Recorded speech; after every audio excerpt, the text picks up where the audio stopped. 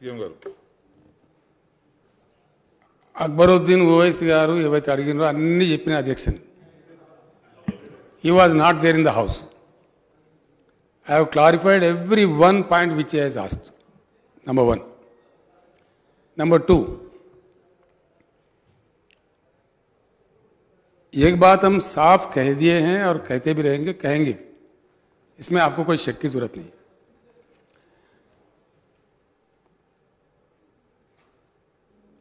दलित बंधु दस लाख दिए जाने के बाद हर वो कार्यक्रम अब दलित के लिए जो जारी है, वो मुसलसिल चलता रहेगा।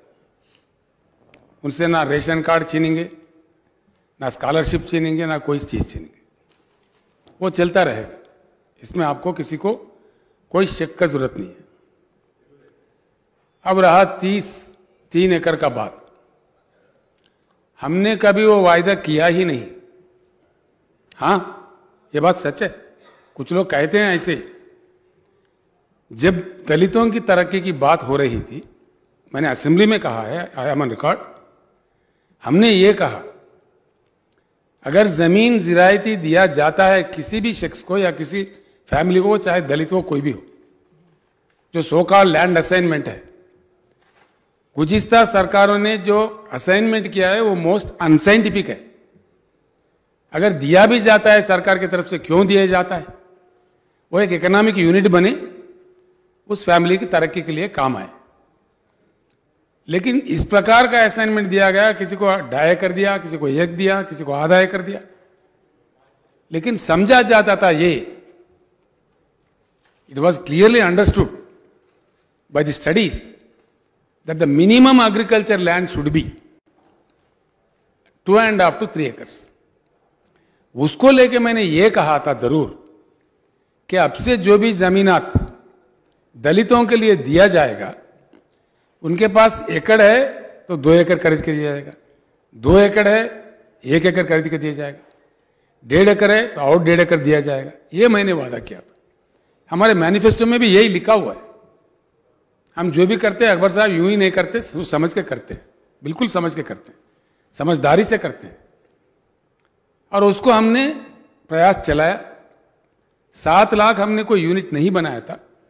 खरीदते खरीदते किसी जगह कमम ज़िले में ही सात लाख भी एक एकड़ के लिए देना पड़ा उस समय। तो उस प्रकार से भी कुछ लोगों को दिए। उस प्रकार के प्रयास में एक सोलह हज़ार एकड़ हमने अभी तक दलितों को दिया है। इसके बाद में, आज के हालात में, ज़मीन ना मिल रही है, ना सरकार के पास बची हुई है जितना ज़्यादा सबको दे सके। सब खत्म कर दिया असाइनमेंट्स में पीछे। इससे पहले भी आपके आने से पहले बटी विक्रमार्का साहब बोल रहे थे कि असाइनमेंट कमिटीज नहीं बैठे, ज़मीन है तो असाइनमेंट कमिटी है। ज़मीन है ही नहीं। सरकार खुद अक्वायर कर रही है अपने जरूरियात के लिए पब्लिक पर्पज के लिए। लाखों एकड़ अक्वायर करना पड़ रहा है सरकार को। तो ये ज़मीन के हालात है। और उनको दस लाख का बेनिफिट मिलने के बाद ज़रूर आज जो चल रहे हैं, ऐसा नहीं है कि दस लाख से ही उनका घर सोना हो जाएगा। एक रास्ता बनेगा उनका तरक्की का। चलते चलते फिर हम ही लोग बात करेंगे इसी हैवान में। डेफिनेटली रिव्यू करेंगे, उसके बाद हम निर्णय लेंगे उस प्रकार का। लेकिन अब जो भी उनके लिए जारी है, वो स्कॉलरशिप हो रेशन कार्ड हो कोई और सुविधा हो, वो चलता रहेगा। कोई किसी चीज़ को उनसे लिया, वापस नहीं लिया जाएगा। दूसरी बात यह है, जहाँ तक मुसलमानों की बात है, पहले से बहुत बेहतर तरीके से हमारे सरकार काम कर रही है। वो तालीमी मामले में हो, कुछ और मामले में हो, हम काम कर रहे हैं। कुछ हद तक उसके नतीजे भी पाए जा रहे हैं।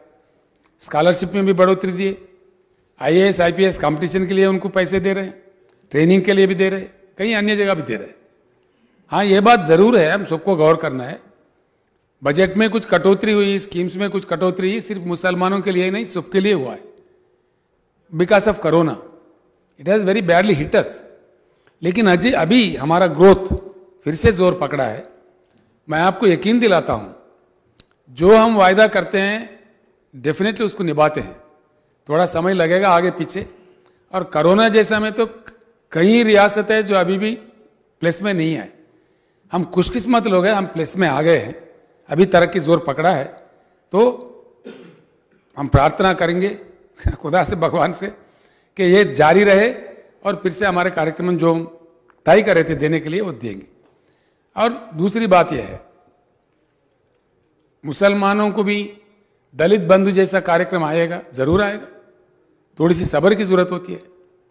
सबसे बॉटम लाइन में यह बात बिल्कुल सच है।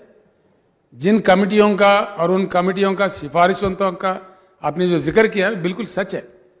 चाहे वो कुंदू कमेटी हो, सचर कमेटी हो, सुधीर कमेटी हो, जो भी कमेटी है, उन्होंने साफ़ बताया है कि मुसलमानों के हालात भी बहुत ही खराब है, गरीब है। वहाँ भी सरकार का देखने की ज़रूरत है। हम उसी नज़रिया से कार्यक्रम को शुरू किया है, आप जानते हैं। बजट को भी बढ़ावा दिया है, हर चीज़ दिया है। आगे चल के सिर्फ़ मुसलमान ही नहीं, बाकी लोगों में भी जो भी गरीब से गरीब है, थोड़ी सी सब्र की ज़रूरत होती है, जो कि हम नया रियासत है। काम चल पड़ा है। कुछ नतीजा हमने करके देख, दिखाया है। जो हमने कहा, दिखा। बिजली की जो किल्लत थी रियासत में, उसको हटा दिया हमने। आज बिजली सबको 24 घंटा मिलता है। हर हर चीज़ को मिलता है, हर घर को मिलता है। ऐसे ही पीने की पानी की काफ़ी किल्लत थी, उसको हटा दिया हमने। आज गाँव गाँव, हर तांडे में, हर जगह, जंगल में भी जो हैबिटेशन है, उनको भी मिलता है आप बखूब जानते हैं।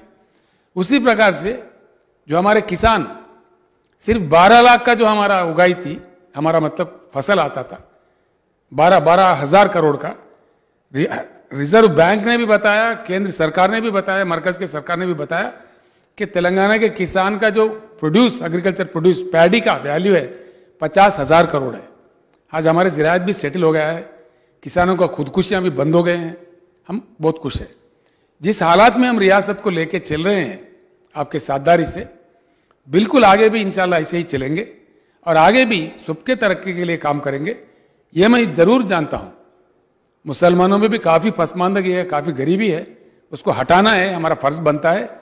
और हम ये देखना चाहते हैं, मैं एक बात आपको पक्का कहता हूँ, हमारे दिल से कहते हैं कि तेलंगाना के हर शख्स के चेहरे पे एक सुनहरा तेलंगाना नज़र आए, एक अच्छा मतलब हंसता, खिलता पुलता हर फैमिली, वो चाहे मुसलमान हो, दूसरे हो, दलित हो, हमारे बीसी भाई हो, हमारे ओसी में गरीब हो, हर किसी को मिलना चाहिए।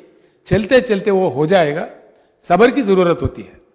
अब दलितों के लिए आपने एक सवाल पूछा मुझे। हमारे जो सर्वे हुआ था, उसके मुताबिक हमें ये फिगर मिला है कि हमारे एक करोड़ तीन लाख फैमिलीज़ तेलंगाना में है, जिनमें से 17.5 परसेंट दलित फैमिलीज़ है। यानी कि 17 करोड़ 17 लाख के ऊपर 18 lakhs near to close to 18 lakh Dalit family है। क्राइटेरिया आप पूछ रहे थे सिर्फ़ दलित होना ही क्राइटेरिया है। जिस किसी को छोटी मोटी नौकरी है, उन्होंने उतना अमीर तो नहीं बन गया। तो इसलिए द क्राइटेरिया हमने रखा कि दलित फैमिली होना चाहिए। सिर्फ़ दलित है तो बस है।